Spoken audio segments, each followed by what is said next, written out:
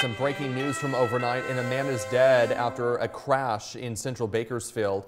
It happened last night around 1030. This is at the intersection of California and Chester Avenues and you can see the damage done to the passenger side of that car.